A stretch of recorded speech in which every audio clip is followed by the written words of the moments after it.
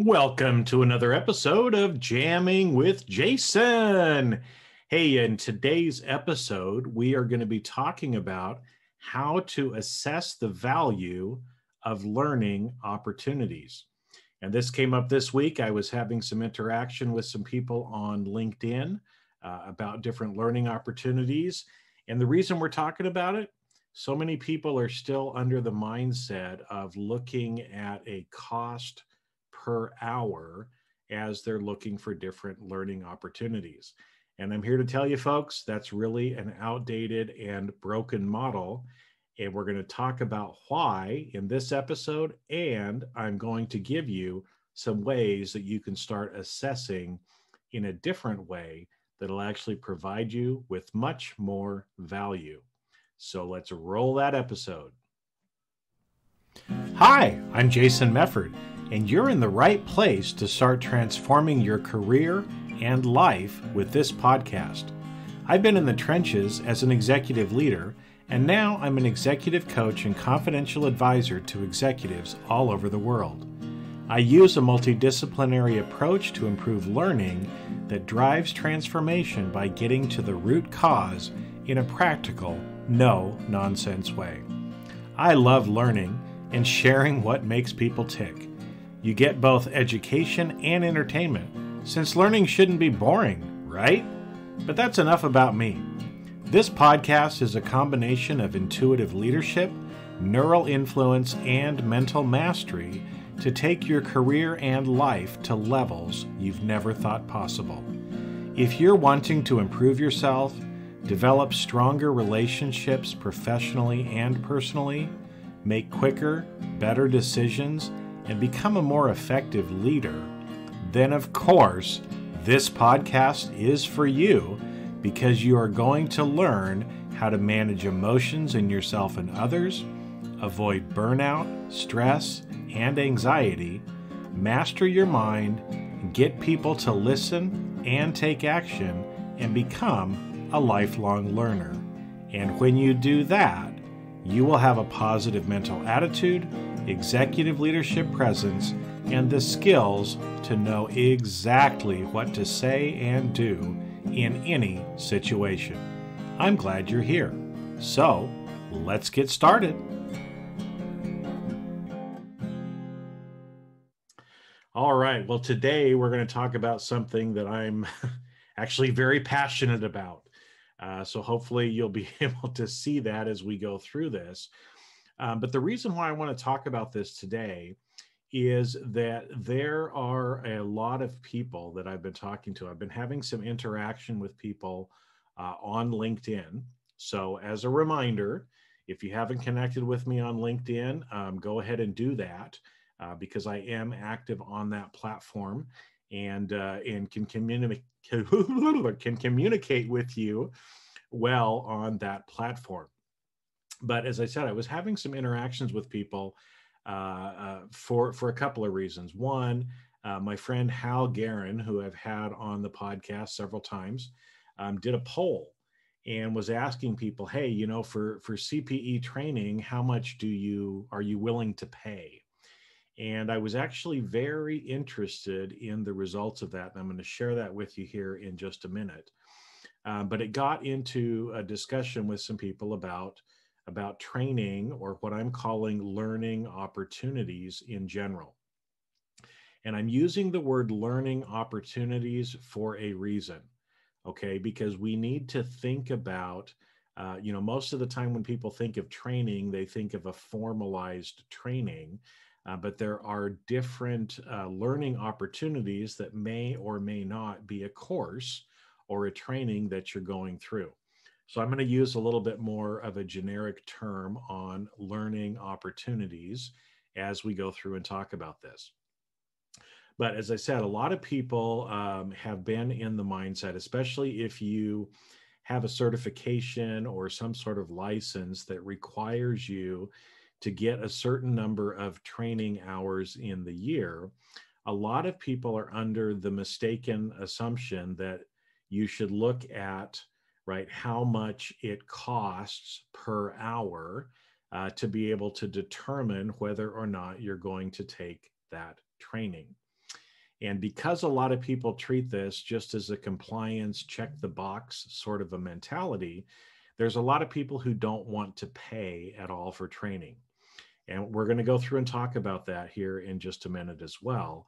Um, but as I said, from from Hal's uh, initial survey, it hasn't closed yet. Uh, but about 44% of people said, "Hey, I'm not willing to pay anything for CPE. I I only want free." Now that's a little disturbing. In okay, it's not a little disturbing; it's a lot disturbing. And here's the reason why. You know, as professionals, uh, really the capital in, in an investment in ourself is what helps us to earn money over the life of our career. So the more educated you are, uh, the more trained you are, the more knowledge, skills, and competencies that you develop over your career, the more money you can actually make, right? And so, again, some training, for example, when you get a certification, actually literally helps you earn a lot more money over the course of your career. And so, training or learning opportunities should be viewed as an investment.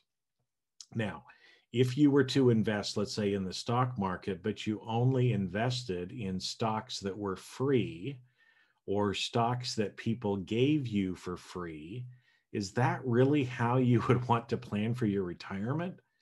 I'm guessing probably not, right? And so we don't want to use, you know, like I said, a, a broken model in thinking about your professional development.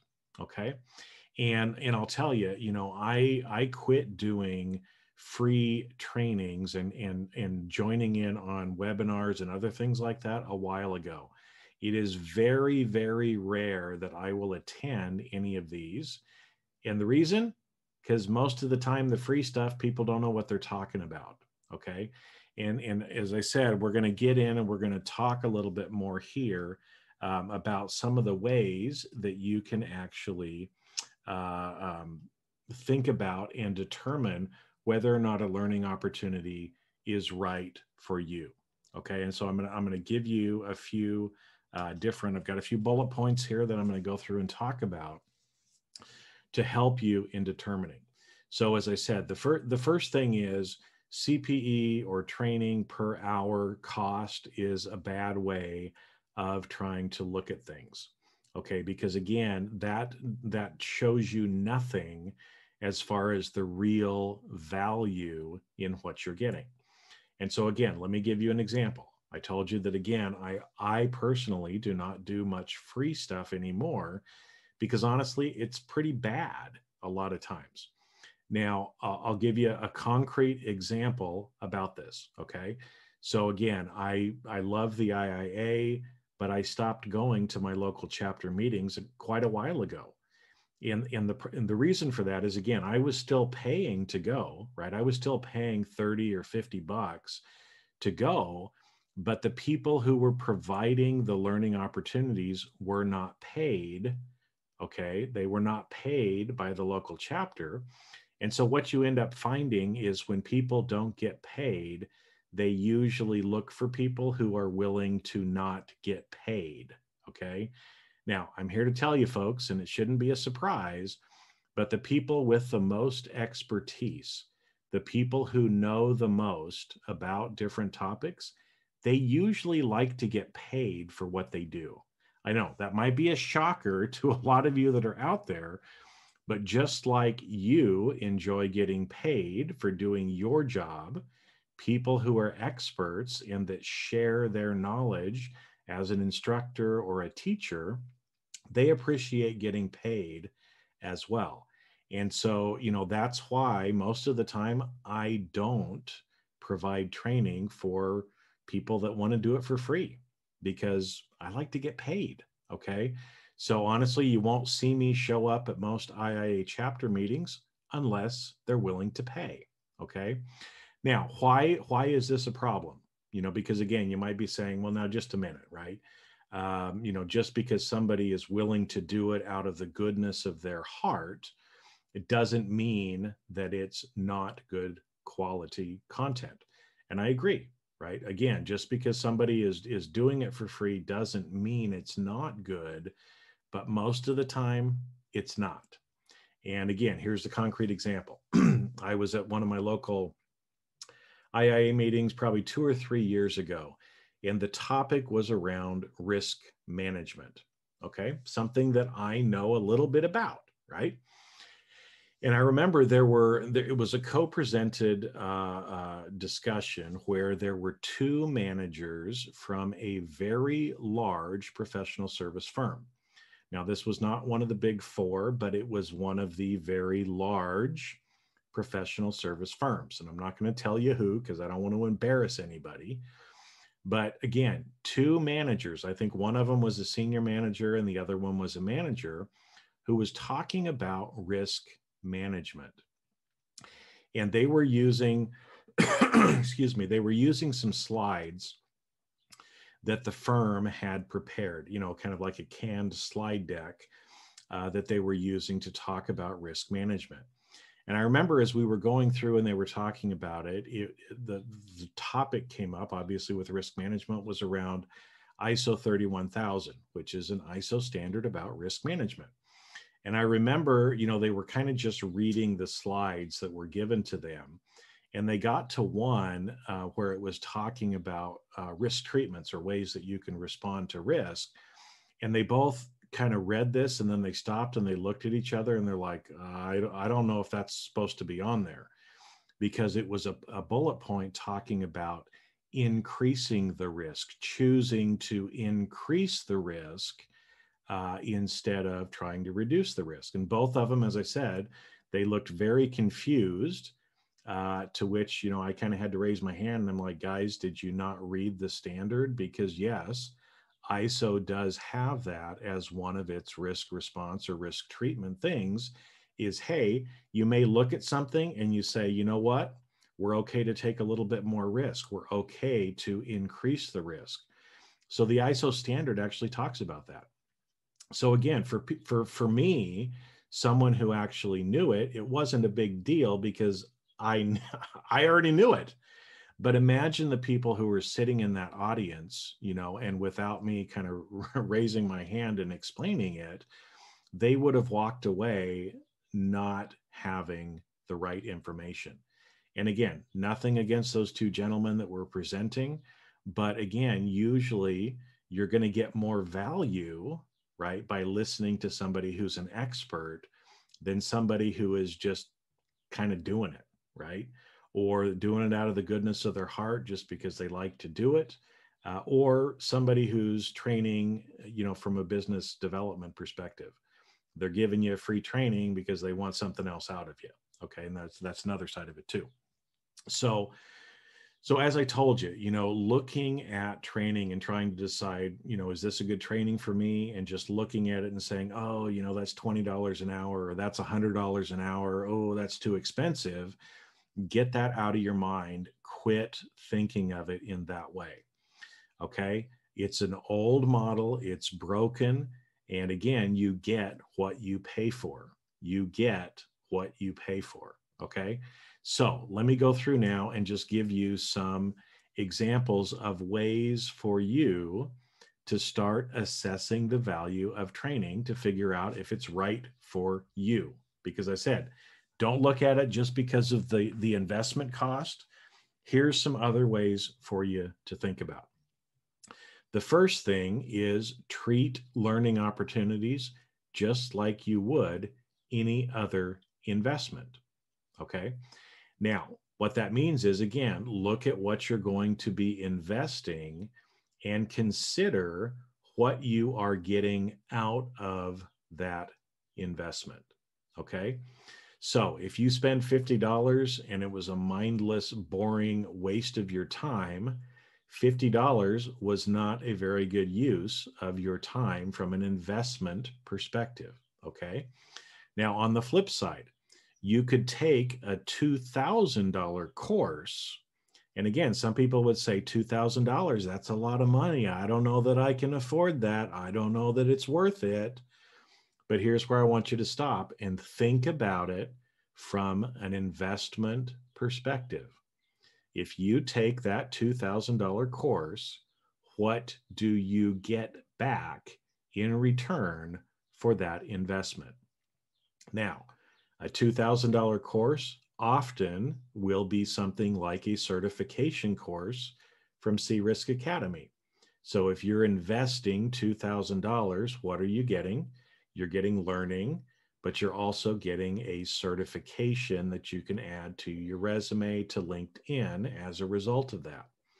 Now, if that $2,000 course is going to help you get a promotion or get a new job to where you're maybe earning $5,000, $10,000, $20,000 a year more in salary, now all of a sudden, when you look at it from an investment lens, 2000 you know investing $2000 to get back $10,000 or more per year over the course of your career that's a pretty good return on your investment okay so the first way to think about it is treat it like an investment look at the value that you're going to be getting out of it and is it worth you investing into that now the second one that i want to talk about is what i call rent versus buy and so, again, you know, you can think about this from a real estate perspective or other things.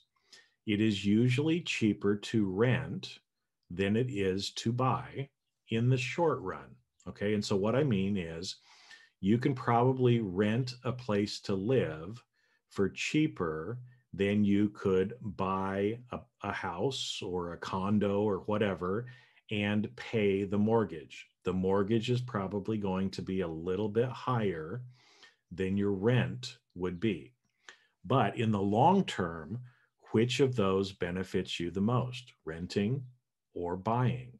And so, again, from an investment decision, most people look at it and realize, hey, if I buy it, then I'm going to get the future appreciation as well. Eventually, when I pay off the mortgage, I'm not going to have that cash outflow each month. And so, a lot of people choose to buy instead of renting. Now, you might be saying, how does this relate to training? Well, I'm going to let you in on a little secret about this too. Attending live trainings or live learning opportunities, uh, like webinars, like in person training, that is like renting that information because you show up at a particular time, you hear it, and then that's it you don't get access to it anymore. You have effectively rented that time with the instructor, with whatever it is that you're doing. You've rented that time and you don't have that as an asset to be able to go back to. Okay. Now, if you if you contrast that with something like on demand training, where you actually have access to that resource for the rest of your career, it's convenient because you can do it at the time you want to. You can watch it, you can stop, you can rewind, you can think about it, you know, six months from now and go, hold it. I remember that training I took. I want to go back and look at that again. Well, on demand training, again, CRisk Academy offers that. Those kind of opportunities are like buying because it becomes a resource that you can use throughout your career. It's not rented. You can go back to it whenever you want to. And the more times you go back to it, the more value you're going to have in your career. Now, as I said, buying might be a little bit more expensive. So, again, taking an on demand course might be a little bit more than going to just a webinar. But which one is going to benefit you in the long term of your career? It's probably better, right, to end up you know if if this is something that you think you're going to use again to pay a little bit more upfront to know that you can go back to it whenever you want to. Now i do this same thing. Every time my wife and i watch a movie uh, we usually watch through our apple tv so uh, we have to decide do i want to rent the movie or do i want to buy the movie? And again you know pricing it varies for each one of them but we look at it and say, you know what? If this is a movie that we think we're going to want to go back and watch again, I just buy the movie. I don't worry about renting it because usually renting it twice, you might as well have bought it anyway. Okay. The same thing applies for training as well. So think about is this something you only want to hear once and you never want to go back to? Okay, choose an option, a learning option that's like renting. But if it's something that you want to be able to go back to, use as a resource for the rest of your career, it's probably better to pay a little bit more to actually have that resource throughout your career. Okay, so that's the second one. That's a second way of looking at value. Now, the third one that I'm going to throw out there is just in general about value. And so again, I see this a lot of times. In fact, um, I have I have three nephews. I have three nephews who are actually CPAs. And I remember talking to one of them, and he was he was talking about getting a CPE at the end of the year, and he signed up for some free thing, and after 15 minutes, he had to shut it off uh, because he just couldn't stand listening to it anymore, and then had to go find something else. So it's it's you know again are you getting value out of it? So again, don't sign up for training just to tick a box on your CPE form make sure that it's something that's actually valuable for you and for your career. Don't go listen to mind numbing BS uh, that isn't going to help you. If you're going to invest your precious time, make sure it's on something that you think will actually help you in the long run. Now, when we're considering and thinking about that, again, it's the value to you. So for every person, that's going to be a little bit different. But let me give you an example as well. Let's say that I'm going to the grocery store to buy ground beef. Okay. Ground beef is what we call it here in America, chopped up, you, know, beef. Uh, Australia, they call it minced meat. That's what my wife calls it. But let's pretend that we're going to the grocery store to buy some ground beef. Now, when I get there and I look in the store, I'm going to have a couple of different options. And again, this might vary depending on where you're at, but this is just kind of my experience here in the US. So we go there and we could find maybe that there is ground beef, regular regular old ground beef sells for $3 a pound. But right next to it is organic grass-fed beef, ground beef for maybe $5 a pound. So at this point, I have a decision to make, right? I have ground beef for $3 a pound that was probably, you know, hormone raised, uh, feedlot fed beef for $3 a pound. Or I could do the organic grass fed beef for $5 a pound. Now, for each person who's making that decision, there's going to be plenty of people who say, I just want the $3 beef. I want whatever's cheapest. I don't really care. So if you're one of those kind of people, then buy the $3 ground beef. Okay. But if you're other people that look at it and say, you know what, this is something I'm putting in my body, and I'd rather not have the hormones from the the animal in my body i would rather maybe have uh, you know pay a little bit more for organic or farm raised or grass fed because I believe that it's going to do my body better. It's going to be better for my body. It's going to provide me with more value, right, in the long run. So to me, it might be worth paying the $5 per pound instead of the $3 per pound. You see the difference there? So again, that's the third way to think about it is what's excuse me, what's the value to you? And so again, don't just pick the cheapest option. Look at again the other value that you're going to get from it. Okay, so that's three that we've gone through already. I've got a couple more and then we're going to wrap out for today. So the first ones we talked about treating it like an investment. Second one, considering it like a rent versus buy decision. Uh, the third one we talked about was value. Okay, so let's get into the fourth one now, which is the differences between a course and a program. Okay, Now, again, this may be another little nuance that you might not be aware of, but let me just explain the difference between a course and a program. Okay. A course is usually something that is discrete. You're buying a course that's five hours, 10 hours, 20 hours long. Okay. It's about a particular topic and it is to provide you with knowledge or teach you certain skills. Okay. That is what a learning opportunity that is a course does, right? So maybe it's how to write audit reports or, you know, how to raise orchids. Okay. That those would be a course where you're going in, you're actually getting some knowledge. They're going to probably teach you some skills. Um, and that's it, right? So it's discrete, beginning, end. Now, again, those could be live, they could be on demand. Those are courses, okay? There are courses, there are also what are called programs. So a program is different than a course, and this is how it is different. You know, the course teaches you usually knowledge and skills, but to really learn something, we need to develop competencies from those knowledge and skills, which means we have to exercise, we have to practice, we actually have to implement and do those things until we actually learn it. And we learn it by doing. So a program usually in, encourages people and provides opportunities for them to practice and learn along the way.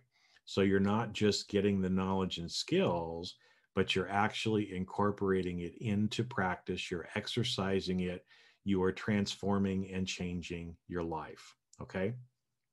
So, an example of that might be the briefing leadership program that I do for leaders. Um, and the reason for that, again, you can go read a leadership book if you want to. There's lots of them that are out there. You can go take a leadership course and you'll learn things during it, but then it's up to you to actually implement it. And what we find is most people take the course and they do nothing else with it. And so, again, courses are great. I love courses. I have lots of courses myself. I take courses myself as well as giving them. But if you really want transformation and you want to start applying those things and exercising and gaining the competencies, something like a program is a better alternative. Now, usually programs, again, are going to be a little bit more expensive than just a course. Why? Because there's continuity to it. You continue to learn, there continues to be new content.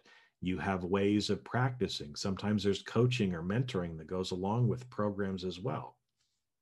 So, again, depending on what it is that you are looking for, do you want some discrete knowledge that you can get from a course or do you want to actually go down a transformation path and actually practice and exercise those things? If you want the latter then look for programs instead of just courses okay? That's the fourth one now, the last one is, you know, again, as you're looking at the learning opportunities, one thing to look at is the expertise of the person who is actually doing the course or doing the program. And again, I will tell you, it's just like everything, you get what you pay for, right? And so people who are more experienced, people who know more, people who who are are trained and and have proven results in being able to help people they're going to earn more than people who are just starting out or people who don't know what they're talking about because they're still learning too okay? So again if if you have a choice let's say there's you know the xyz course pick whatever topic you want and you have and you look at the information and you see that the one person seems like they're kind of new in what they're doing. Uh, they don't have a lot of experience. They haven't helped a lot of people. And and that's one price which is probably going to be lower versus somebody else who maybe has decades of experience doing this. Maybe that person has written books. Maybe they've you know toured all over the world. You've seen them on youtube right other things like that where you know that that person is actually an expert. So the more expertise someone has usually the more they can help you right? And because of that you can usually get transformation quicker. You'll learn more. You'll learn things that that normal people don't know as well. And so again looking at the expertise of the person uh, will also help you to determine the value of that learning opportunity as well okay? So um, as i said you know at the beginning of this the old looking at at a learning opportunity and dividing the number of hours by the cost and saying oh that's too expensive or you know that sounds good to me or only relying on free is not really the way to go. In fact i will tell you um, i've invested in courses myself where if you were to just do that math you would be shocked because it's hundreds or thousands of dollars per hour and again, you might say, hold it, that's not worth it. Well, go back to number one that we talked about to begin with looking at and treating it as an investment. And I will tell you, when I have invested in very expensive programs, I have gotten you know very very helpful results to the point to where sometimes i get a 10x return on my money. So you know again don't look at it just because of the price. Consider things like you know take it determine if you know like like you would any other investment. Consider whether this is a good rent or buy option for you. You know look at the value that you're actually going to receive not just from from the course or the training itself but the value again the underlying value that you have in things right um, and again, we talked about the the organic versus you know hormone raised beef. Um, if if you value the organic, then pay for the organic, if you will. Okay. Uh, we talked about the course versus a program, what the differences are there as well. Uh, and again, because ultimately, even if it's a course, you're not going to develop the competencies until you start practicing and put it into place. Programs actually help walk you through that courses, you're left on your own to do it by yourself. And then the last one, again, just to consider the expertise of the person who's providing the learning opportunity to know whether it's somebody who's been around the block a few times that actually knows what they're talking about, or if you're jumping into something with somebody who doesn't know much more than you do about it um, as you're going through. So, with that, I hope that's helpful because again, it's um, I'm very passionate about this.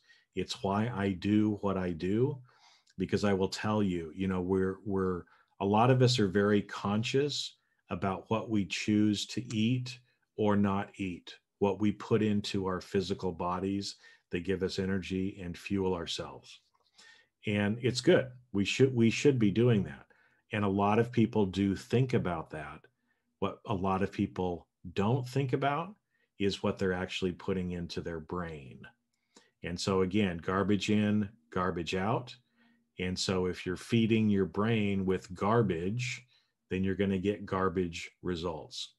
If you feed it better, better food, if you will, through through better learning opportunities, you're going to get better results as well. Okay. And so again, just to kind of close out the whole thing, you know, I, I'm guessing that you're not one of those people if you're listening to this podcast, but if you are one of those people that only feels like you should get free training and training should be free for everybody is that how you would get your food as well because again most of the places where you can get you can get free food right but most of the time it's like going to the grocery store picking out the samples or it's digging through the trash can for things that people have left over i don't think that's how you would want to feed your body so you might not want to feed your mind that way either. So with that, my friends, lots of love. And, uh, you know, because again, as I said, my I, I'm passionate about this because I want you to invest in yourself. I want you to to be able to have the best life and career that you can have. And honestly, the one of the best ways to do that is for you to invest in yourself because it opens up opportunities for you to earn more money, to provide better for your family, and to honestly have a lot less stress as well um, as you go through that. So, with that, my friends, I'm going to sign off for this week, but I'll catch you on a future episode of Jamming with Jason. Have a great week. And that's a wrap. Thanks for listening to today's episode of Jamming with Jason. Keep on rocking in the audit world, and if you enjoyed this episode, please share with your friends and leave us a review on your favorite podcast platform. Connect with me on LinkedIn and let me know what you enjoyed the most about the podcast, and you may even be featured on a future episode. When you're ready to turbocharge your leadership development, join the Briefing Leadership Program, where you get access to everything in one place and can interact directly with me in the group. If you'd like to earn continuing professional education for listening to today's episode, head on over to CRisk Academy's video on demand learning platform at ondemand.criskacademy.com. Not only do you get a CPE certificate, but you will also have access to hundreds of video on demand learning opportunities. The views and opinions expressed on this podcast are that of the individuals and not of their respective organizations.